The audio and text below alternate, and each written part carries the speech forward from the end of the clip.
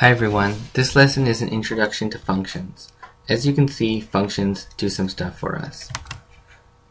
Let's take a look. When we're declaring a function, we'll first use the function keyword, and then we'll give our function a name. The name you give your function should be appropriate for what it's doing. So in this case, I'm going to issue a welcome. So that's why my function is called welcome. Um, often they'll be called verbs because verbs are actions and functions are the same thing they perform an action. So in this simple function, all we're doing is we're writing out hello mister. Um, down here is where we call the function. If I comment this out and I refresh, there's nothing. But if we take this out, here the function exists, and here the function is getting called. Let's take a look. And it outputs hello mister. Let's take a look at another function. This function is called welcome1 and the function is taking one parameter. This function didn't take any para parameters. So why, why do we need a parameter here? Well, sometimes functions, or in order for them to do something for us, they need a little bit of information. And in this case, uh, this welcome1 function, it needs this information. Okay, what's the greeting? So down here, I call this function and I pass in the parameter which is a string of what's up. So this function's getting called, this is getting passed into here, then we're writing it out. Whatever I wrote here is going to go right here, and then we're going to concatenate on Mr. Let's take a look. And now instead of saying hello mister, it says what's up mister. So you can see I could have changed this to anything I could have I could have wrote um, I could have write how's it going and that's going to change. Okay, it's going to update uh, with the parameter that's passed into it. All right. Keep going. Uh, this next function is called welcome2, and it takes two parameters. So if your function takes more than one parameter, we should separate it with a comma. And this is the same sort of deal. Um, calling the function, passing in this data, passing in this data, two things here, two things here. Looks good. Let's take a look. And now it says, what's up, Anthony? Okay. You can see how that works. Uh, let's look at another function. This function is called add, very appropriately. It takes two. It takes um, it takes two parameters, a and b, and it. Now we're not going to write it out. We're going to return it. Okay, let's take a look. So right now nothing will happen because we didn't call the function. Let's call it. So it's getting called right here and it's getting passed a 2 and a 3. And then because this function returns a value, what we're going to do is we're going to run it, we're going to get it returned, then we're going to store that inside sum, and then we're going to write out sum. There's a 5. Now you might be wondering, um, you know, what was the point of this to store it in here and then write it out? We could have just wrote it out in our function. Well, we're not always going to want to just output um, our stuff to the browser. Sometimes we're going to want to store it in a database, or we're going to do uh, whatever with it. We're going to do an AJAX request with it. All right. So that's why sometimes we just want to return something, and then we're going to store it or or whatever. Okay. Here, a new variable sum2. Sum2 is set to the function of add, and here we're passing in three parameters. Well, this doesn't this doesn't look right because this function add2, where is it? Uh, yeah. Uh, sorry, the function add is only set up to take two parameters, but here we're passing in three parameters. And in some programming languages, this would cause an error, but in JavaScript, it doesn't cause an error. And what's going to happen is the function is going to take this 2 and 3 that it wants, and it's going to ignore this one. And we're going to see that the output exa is exactly the same. And there's 5. Okay, so this just gets ignored in JavaScript. We could have put more, 56, okay, no difference. Next up is this function, add v2. Um, taking two parameters. The first thing we're going to do is we're going to write out A, we're going to write out B, and then after that we're going to return A plus B. And here we are calling the function, but we're only passing it in one parameter. It needed two, we're only passing in one. And then we're doing a, we're doing a rule tag here, or HR tag. Let's take a look. And here it's telling us that A is 2, B is undefined. And then here it's returning 2 plus undefined, whatever that does. Okay, so when we don't pass it enough parameters, the one that it needed will be set to undefined. And what that does to your function, I don't know. That could be good. It will probably be bad. Um, but this is, uh, you know, writing this, it shows us what it did. It makes B undefined. And let's do a little bit more with this. So here, um, what I'm doing, remember that this function returns a value. It returns a plus b. So here we're just um, we're writing that out. Okay, let's see what happens there. So what happens here is same as before. It tells us what a is. It tells us what b is. But because this returns a value, and then we're writing out that value, here we saw that we get nan, which is not a number. Okay, so as you can see, in this case, undefined uh, did bad things to our program. And But we can also see that 2 plus undefined equals not a number. All right.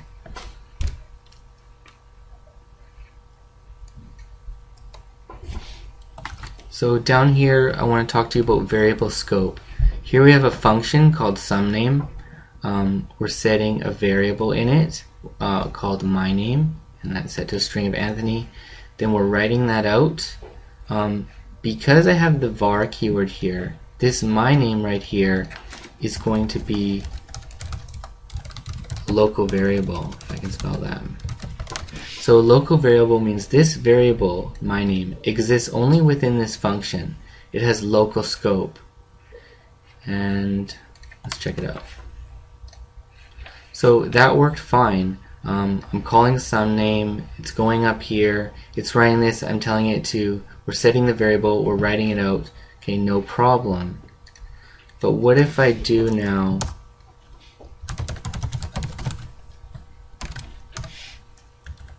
what if I want to do this?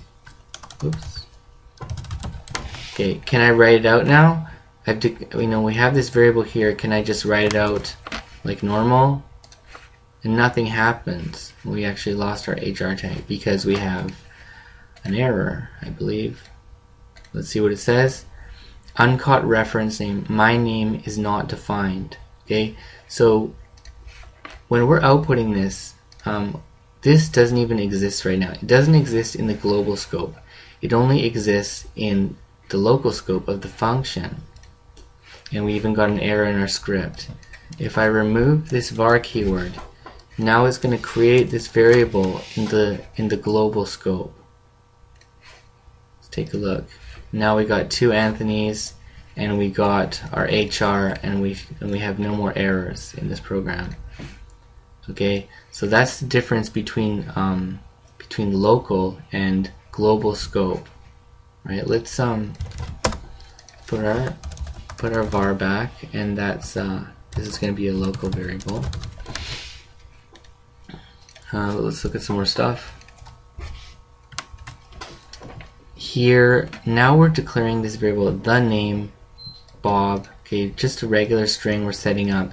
This is a global variable, so it's going to be available to us everywhere in our program, including inside functions. This function, another name, um, I don't know what I'm doing here, let's see. Okay, so the name this the name is set to Bob. This is a global variable. Here we're setting it again inside the function. It's set to Bobby. And here we're calling the function. Let's see what that does. And we got an error. Let's see why we got an error. My name is not defined. Right? Oh, because of up here. So um, let's uh, let's comment this out. Alright, that was causing an error because remember, we set it back to a local scope Let's refresh, no more errors. And here we got the output of Bobby.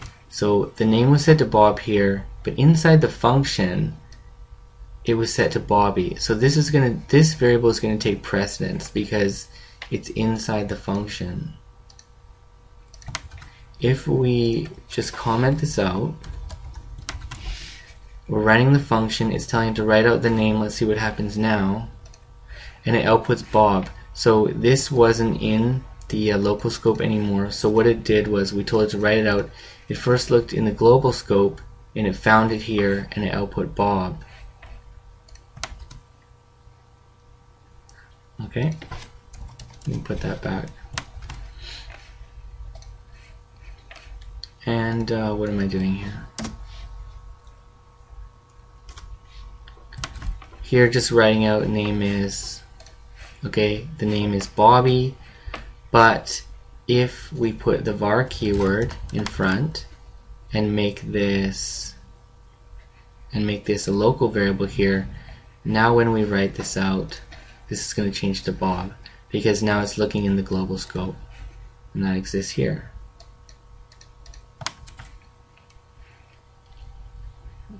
Okay. Keep going. Um, I want to talk a bit about nesting functions. So we can put a function inside of a function. Function hypotenuse takes two parameters a and b and then the next thing it's going to do is, well, basically there's a function that exists inside the function. So this is the function name. It takes two parameters. Inside of it is another function. And here we're going to return. Um, this is part of the, uh, this is the math object in JavaScript. And this is a method of the math object. We haven't looked at uh, that stuff yet. Um, but anyways, um, so so what are we doing here? Well, we need to run this square function on A. And where is it, and, and we need to run the square function on B too. Well, where is it going to find this? Well, this function is inside, it's inside our function here. So we're in, all of this is inside the hypotenuse function. We set up the function here, and then we are running the function right here and right here. So it's going to here, it's getting the it's getting you know the information here, and it's returning something plus returning something.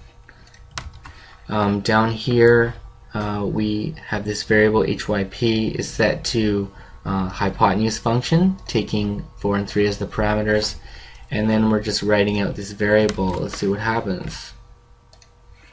And we get 5, okay? Hypotenuse of 4 and 3 is 5. Uh, what's next? Here I create a function called triple. It takes one parameter x and what it returns is 3 times x, right? So I just want to triple a number. So I'm going to go 3 multiply that number. Var1 is set to this function. Okay, and then we're well, here what we're doing is um, we're calling the function here and we're passing in the parameter of 4 writing it out. Okay and 12 so the reason I did this was just to show you guys something. So this variable here var1 is being set to a function. So then you what you know is this is a function now. So because this is a function we can pass it a parameter and it will do what it's supposed to do which is return a value right here. So look closely at that and um, try to make that try to have that make sense to you. This is a function now. This is this function so that means we can pass it a parameter it will do what it's supposed to do var2 is set to an unnamed function so this is the first time we're looking at unnamed functions it has no name but it still takes a parameter and it will return y times y. This is, uh, sorry, a function literal is an expression that defines an unnamed function. Okay, so this is a this is a function literal here, uh, writing it out. So var2, and we're passing it a 5. Let's take a look. 25. Okay? Next one, function quadruple x, return 4 times whatever. Uh, var a is set to quadruple 5. Alright, so we're, sorry, we're passing in, we're passing in, uh, this is the quadruple function. We're passing in a 5 um, because it returns 4 times x, that means a is going to be 20 now. Here b is set to quadruple. So if I just do this, b is set to quadruple, that means b is set to this quadruple function. And I'm actually going to put a comment right here. So let's take a look at this. We're going to write out the type of quadruple, and then we're going to write out the type of b, and we're going to see if they're the same or not. And we see that they, they are. Quadruple is a function, and now b is a function.